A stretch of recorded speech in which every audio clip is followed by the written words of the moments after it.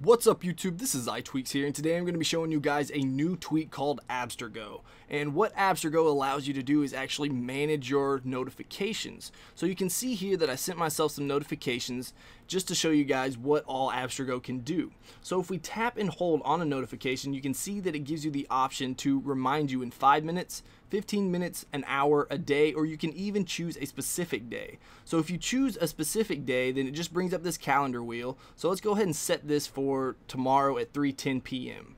So we'll click OK, and you can see this little icon right there. It's a clock that tells you that there is a reminder set for this notification. So let's go ahead and set one more, and we'll just do for five minutes. So now if we scroll down, you can see that you can clear all the notifications on your lock screen just with one swipe. So if we do that, you'll see that it says that there are two pending notification reminders. So you have some options here. You can either remove it from the lock screen, you can keep it, or you can clear it. So for now, let's just go ahead and remove that from the lock screen.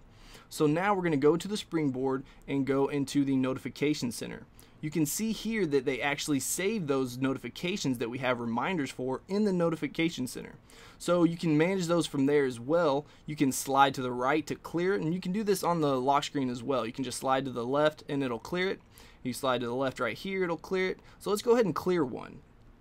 Now, if you have a reminder on the notification that you're trying to clear, it's going to tell you that there is a pending notification reminder on this notification. So you can either clear it or cancel it. So right now we're just going to clear it. Another thing you can do is if you tap and hold right here, you're going to see that you can either edit it and it tells you when the reminder is. So this one's set for tomorrow at 3:10 p.m., which is nice. It's a good touch that it tells you when it's supposed to remind you, and you can edit that. So let's go ahead and edit that for five minutes instead of tomorrow. So now when we double or when we tap and hold on it, it's going to remind us it at 316. Another thing you can do is add it straight back to your lock screen.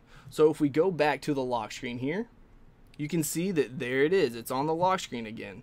So now let's just go ahead and get rid of this. We'll clear it. Clear it completely and then we'll open up our springboard again and let me send myself a email real quick and I should get a banner up there at the top any minute now. There it is. Okay, so if we tap and hold on the banner, yep, you can actually set a reminder straight from a banner. So let's just set that for 15 minutes here. And another cool thing that you can do is if you go into your messaging app, you can click on a message and set it to remind you.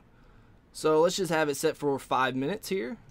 And when we scroll down from the notification center, you can see that I have set that for a reminder. I've set this for a reminder. So this is a really awesome tweak and comes highly recommended if you need to manage your notifications.